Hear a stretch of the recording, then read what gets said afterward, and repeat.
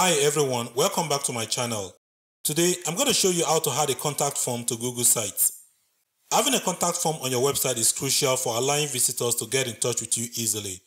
It's very easy to add a contact form to Google Sites. In this video, I'll guide you through the simple steps to add a contact form to your Google site using Google Forms. Here's what we are going to cover today. First, we are going to create a contact form using Google Forms. Then we are going to embed the form into your Google website. Then after that, we are going to install an add-on so we can always get an email notification directly to our Gmail address. Then finally, we are going to test the form to ensure that it works perfectly. So let's get started. So first, we need to create a contact form inside Google Forms. Let's head over to Google Forms. Open a new tab and type in Google Forms. Click here to go to Google Forms page. You will see different form templates. I want to add contact information form, so I will select this one. I'll give it a name like contact us, then I'll stick with the default entry. We have name, email, but I don't want address, so I will delete that. Click here, and then when it opens, click on the delete icon.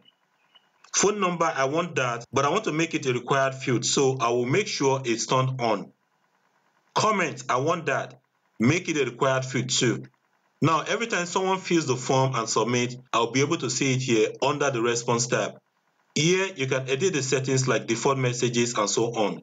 Once the contact form is created, we need to add it on the contact page in Google Sites. Now, head over to your Google site and if you have not created a contact page, create a new page.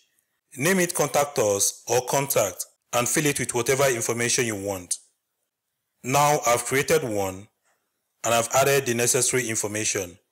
Then below this line, I want to add the contact form we created inside Google Forms. On the right, under Insert, scroll down and find Forms. Select Form and then it will load any Google Forms we have created. This is the one I just created. Select it, then Insert. Now increase to full width and now anyone can send you a message from this contact form on this page. But you have to visit your Google Forms response tab to see every message sent to you. For example, this is what you get when someone fills and submits that form. You have to visit here and then go to the response tab to see the message. You don't get this message in your Gmail address. But I prefer to get a message via email and respond to the message inside my Gmail address. To be able to do this, I need to add an email notification add-on to the Google form. To do that, click on these three dots, scroll down, and click on add-ons. This opens the Google Workspace Marketplace for add-ons. Find the email notification add-on for Google Form using the search bar. Now select this one. Click Install. Accept permission by clicking Continue. Since this is your first time adding an add-on, select your email address, scroll down and click Allow. Now it's been installed. And now click Done. Close this and you can see here there's an add-on button added to your Google form. Click here to reveal your added add-ons. We have only one as you can see. Select that. Now what do we want this add-on to do? Create email notifications. Select that. Now we need to create a rule. Add a rule name here. Let's add email notification. Here our email is already added so let's go to sender's name and let's add a business or site name. I'm going to add Homeware Stores. Now scroll down and go to Notify Submitter. Select notification via email. Click Save Rule to save this.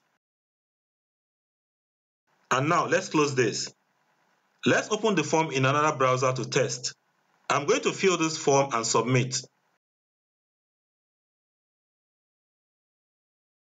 And here, as you can see, I will get a notification in my email that someone filled the form and this is the detail.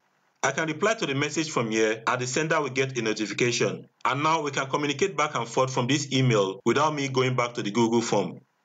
And now we are done. Now your website visitors can contact you using the contact form on your Google Sites website. Click to watch other related videos below. Don't forget to like and subscribe. Thanks for watching and see you in the next video.